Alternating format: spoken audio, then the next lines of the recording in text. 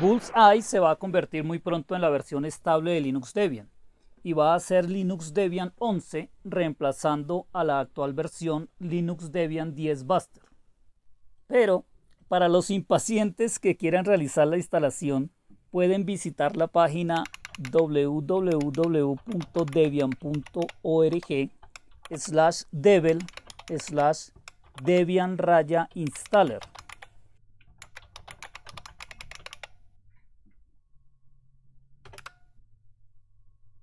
y descargar la versión RC1, que significa Release Candidate 1. Es muy posible que salga una segunda y hasta una tercera RC para que finalmente Bullseye quede en versión estable. Que a diferencia de Ubuntu, en Debian no se tiene un calendario o una fecha oficial de lanzamiento. Como decían hace años en los foros, Linux Debian saldrá cuando esté lista.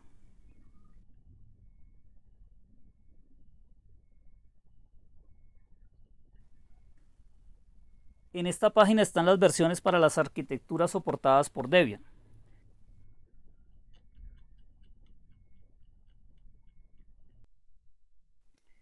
Voy a descargar la versión Edistal o instalación por red que tiene menos de 400 megas. De estas arquitecturas normalmente se utiliza AMD64 para procesadores de 64 bits, tanto de la marca Intel como de la marca AMD.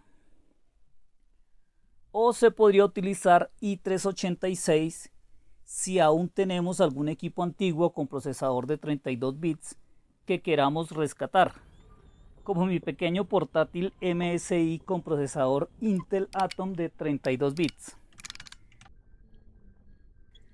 Ok, se descargó una imagen .iso de 361 megas. Creación de la máquina virtual.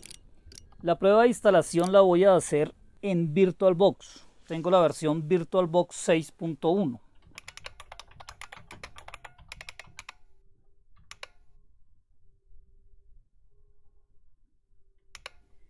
Creo una máquina virtual con 2 GB de memoria RAM y un disco duro de 30 GB.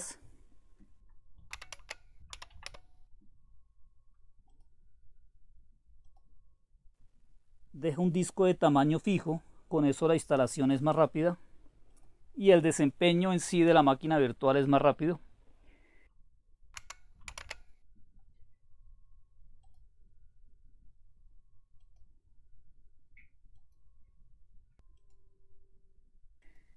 Una configuración adicional, quito el disquete, habilito EFI, asigno dos procesadores y dejo la memoria de video al máximo.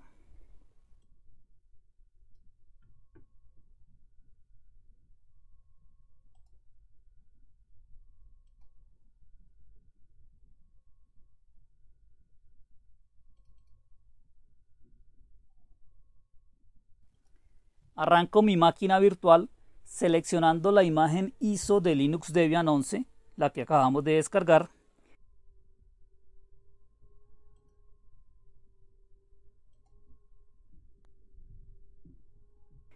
Y en este menú de bienvenida selecciono la instalación gráfica de la primera línea.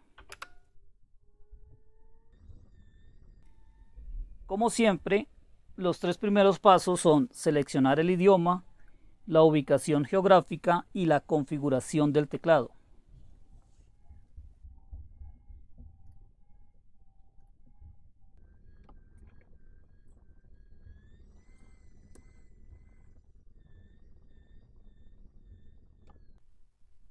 En el nombre de la máquina pongo Bullseye. Con eso sigo practicando cómo se escribe y de paso cómo se pronuncia. Bullseye es el caballo del vaquero Woody de Toy Story, que en Latinoamérica se llamaba Tiro al Blanco.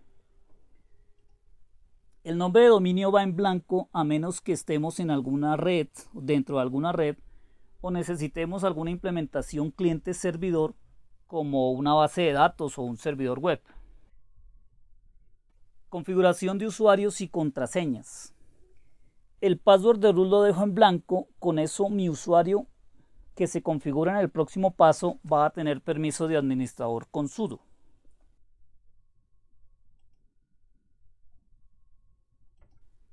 Ahora sí, el nombre de usuario y la contraseña.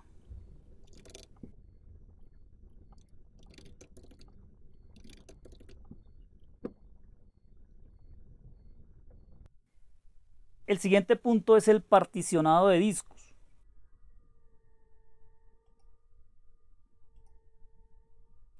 De estas opciones normalmente recomiendo la número 2 para separar el home en caso de que sea necesario una reinstalación.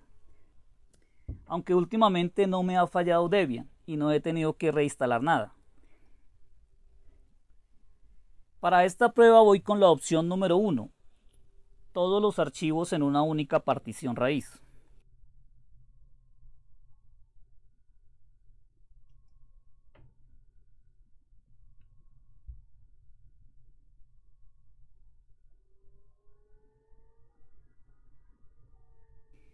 Este es el particionado automático que hace el instalador. Una partición número 1, que es la partición ESP para el sistema EFI. Una partición número 2 para la raíz en formato EXT4. Y la partición número 3 que es la swap o área de intercambio.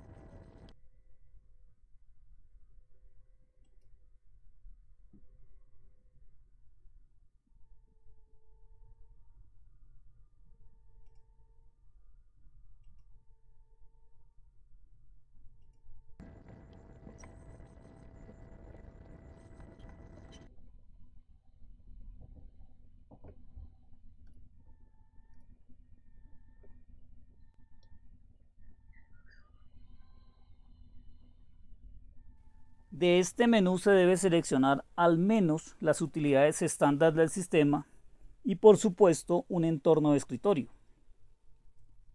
Yo voy con Genome, no recuerdo haber visto esta opción de Genome Flashback.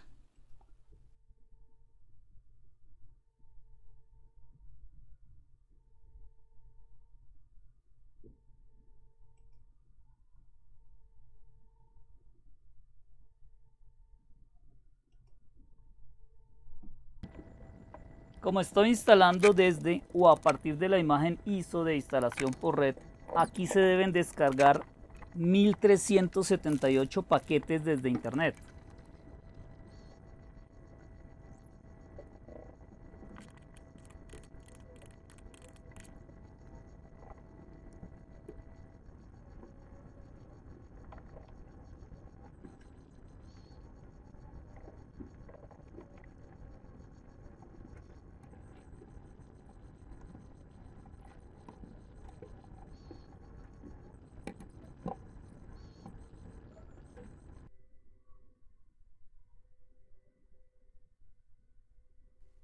La descarga e instalación tomó casi 15 minutos.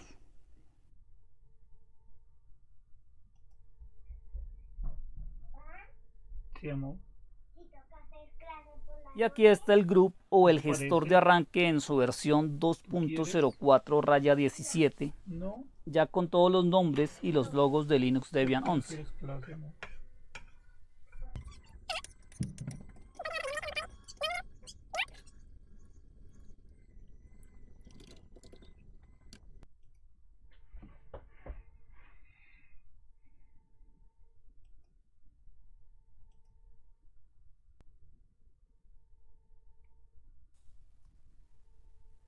Tengo Debian GNU Linux 11 Bullseye con servidor gráfico Wayland.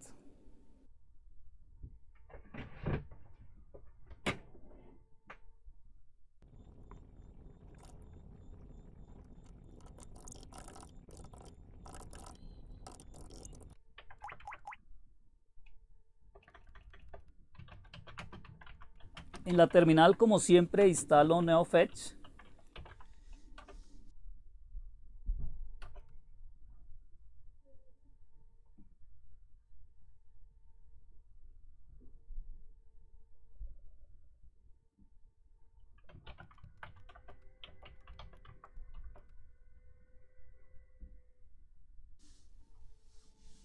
tengo Debian 11 Bullseye con un kernel 5.10 y un entorno de escritorio Genome 3.38.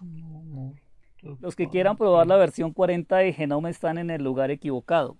Es el precio que se paga por tener una distribución estable y sólida como una roca, en que sus aplicaciones o programas no son los últimos, pero todo funciona.